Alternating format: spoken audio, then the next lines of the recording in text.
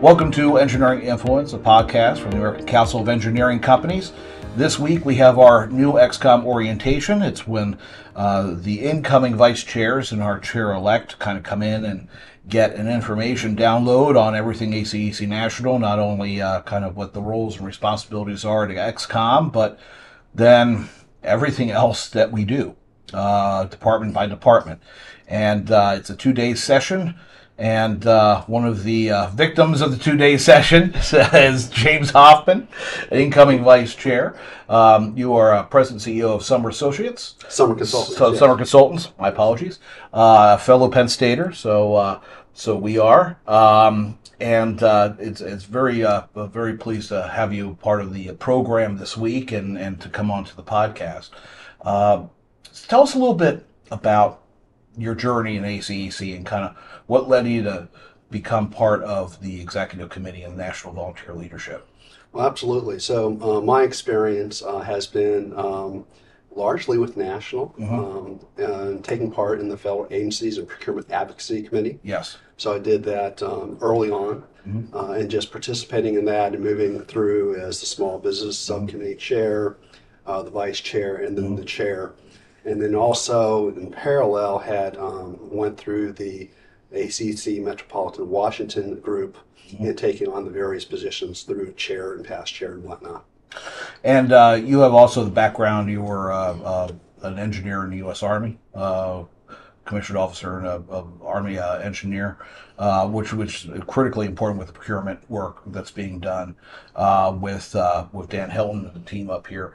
Um, you, you know, looking at all those issues, I mean, we always have you know uh, the regular policy issues that come up. We're looking, of course, towards the next infrastructure bill, whatever happens after IIJA. We've got um, an election year, which is uh, already contentious, and we have all these different issues kind of facing the industry. What are you looking to bring to ExCom? What do you want, really want to focus in on and, and kind of make, leave as your stamp on on the committee?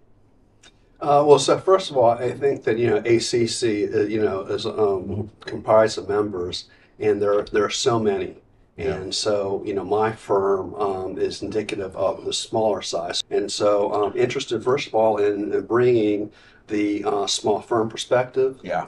also looking to bring the um, the systems perspective or mechanical, electrical, pl- and plumbing engineers, Mhm. fire protection engineers. Um, you know, to to that conversation and whatnot. The um,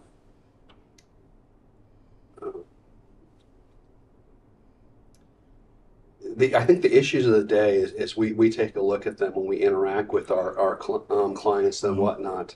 Um, you know, the uh, qualification based issues, uh, the partnering that's been undertaken with the, the Corps of Engineers, Yes. uh, you know, reaching out and you know, really rising to the challenge uh, the Corps um, has uh, brought to us. So really excited about continuing to support that process. So you know, new new to the executive committee as a vice chair, Yeah. and for this very first year, actually really interested in being supportive Mhm. of the chair uh, and collaborating and, and Yeah. learning and whatnot and, and understanding this new stage Yes. because um, this is a brand new experience and uh, there's a lot to be learned and really um, to go ahead and advocate for the business of engineering is really exciting opportunity Absolutely. to partake with the you know the very talented folks you know the um, the volunteer folks Yeah. and then the professional staff that you know you, you all are so excellent in all the things that you do and really you know let, put us in a great position to be successful Mm-hmm. uh, in, in in the marketplace and for the business of engineering. Well, thank you. Uh, I, I, you mentioned the playbook with the Army Corps. I think that's a critical, uh, that's a great example because we are right there helping design that playbook for the design services industry and how it interacts with the Corps. Uh, I think it's a good example of how the council can really, it's positioned in a unique way to be able to not just help influence existing regulatory policy or existing procurement policy, but also to help shape the future of how the federal government works with the industry, uh, whether it's the Corps or whether it's DoD or, or, or whoever state, whoever needs to be doing these projects.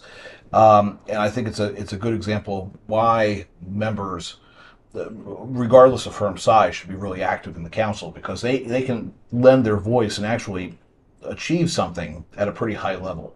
Um, you know, what would you say to CEOs of firms of your size or smaller on, you know, really that, that value proposition of why they should be not only members but engaged members with the council?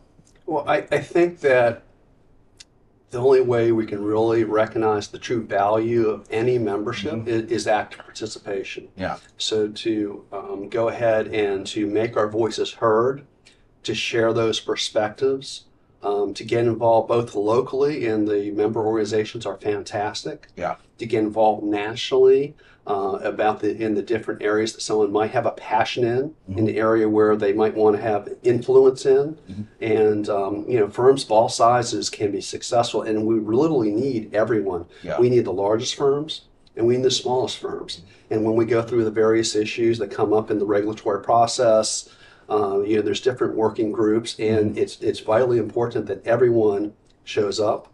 Um, if I just look at you know my journey, um, uh, some of the most valuable information that I've received to help us be a better engineering company is in the context of the Small Firms Coalition Yeah. and the education that has been provided and that that small group of peers but not necessarily peers in the same location Yeah. but nationally so you can have um, uh, a, a conversation it's discreet you know you're not having it with your competitors Exactly. uh, but you Yeah. go ahead and, and learn from people and these best practices so we can all you know it, it become more successful You get a And- national, regional perspective. Uh, the coalitions are great because, yeah, that's by discipline, right? So you could be in an MEP engineer in, in Washington, D.C., but you're talking to somebody who might be in Nevada. And, and, and you might get a better perspective of business and maybe how things happen or, or, or trends. And it's a, it's a great way to share information as resources, contracts, and the like, and then education, to your point, um, is, is, is, is critical. Well, and the challenges of the day, right? So, Yeah. you know, those discussions, and when we do these CEO roundtables, and they're by size or whatnot, so you have the small firms perspective, and you have the other three roundtables, Yeah. where we can all talk about issues that are really germane to our business, the Yeah. hot topics, and, and just borrow some ideas that we can make ourselves better and more successful companies. It's really been a, a fantastic experience. Absolutely. Well, James, I, I appreciate you taking the time uh, this morning before we start to uh, come onto the program and, and really look forward to working with you over the year to come. a lot of interesting topics that we're going to be covering, a lot of interesting policy areas that we're going to be involved with. So, again, thanks for uh, coming on the program.